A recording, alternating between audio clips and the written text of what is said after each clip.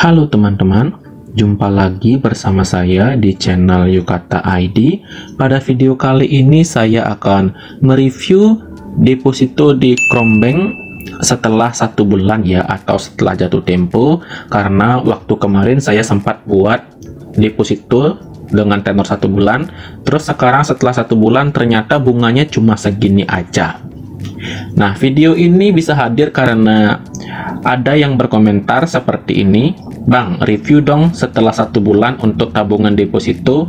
Secara ini kan udah lewat ya satu bulan, udah bulan Agustus biar kami lebih yakin untuk aplikasi Bank Digital Chrome. Oke, jadi sekarang saya akan mereview deposito saya yang sudah jatuh tempo selama satu bulan. Oke, langsung saja kita buka aplikasi Chrome Bank-nya.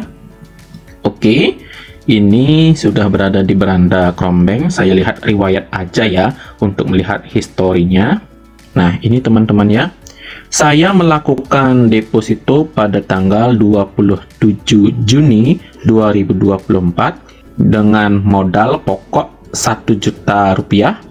Lalu pada tanggal 27 Juli 2024 ya yang di atas ini sudah jatuh tempo ya setelah satu bulan dan cair sebesar 1.004.273 ya jadi pokoknya itu satu juta terus dapat bunga 4.273 Hmm, dikit ya teman-teman ya. Ya dikit karena modalnya dikit.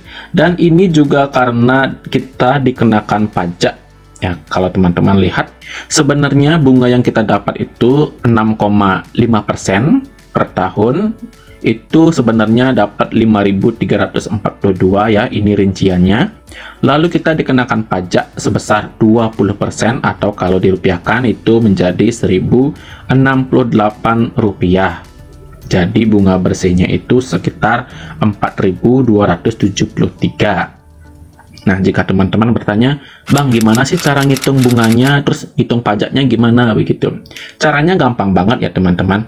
Nah, misalnya anggap aja deh bunga yang kita dapat itu 6,5% ya, sesuai yang tertera di sini, terus modalnya 1 juta. Caranya ngitung kayak gini. Bunga kita kan 6,5% ya, teman-teman. 6,5%. Terus dikalikan dengan modal kita ya, pokoknya kan 1 juta. Nah, jadi kalau per tahun ya dapatnya segini 65.000 tetapi kan kita itu tenornya cuma satu bulan ya sesuai dengan tenor yang kalian pilih. Satu bulan artinya ya dibagi 12 ya teman-teman. Dibagi 12 karena satu tahun itu ada 12 bulan. Jadi kita dapat bunga 5.416. Ya, kalau di sini di Chrome kita dapat bunga kan 5342 nah kenapa bisa beda? Ya karena ini kan cuma hitungan kasar ya teman-teman. Hitungan kasar ini bagi 12 karena kan beda-beda ya setiap bulan itu harinya berbeda-beda.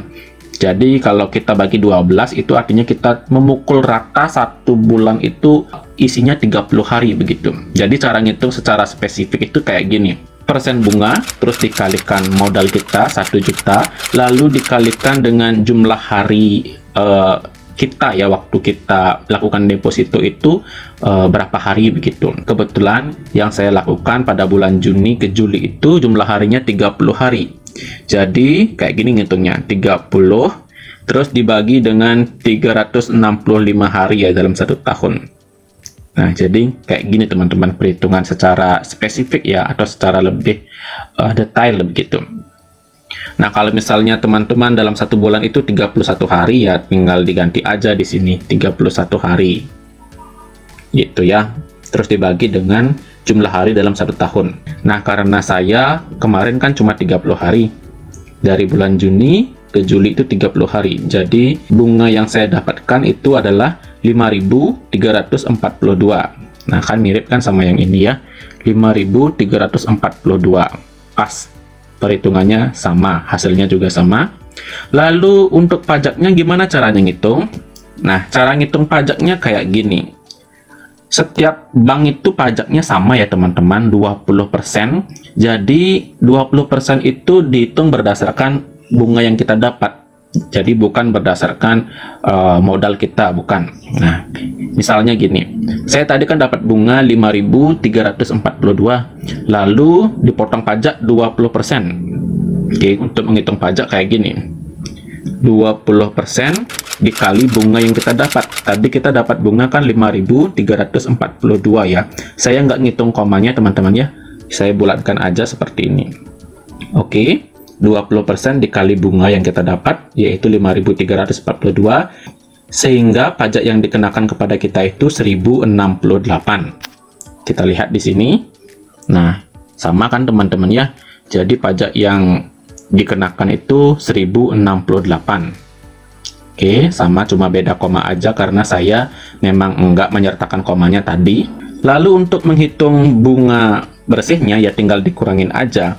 Tadi bunga awalnya kan 5342 lalu dikurangin dengan uh, pajak yang dikenakan yaitu 1068 sehingga bunga bersihnya cuma dapat 4274 ya sama ya sama yang di sini.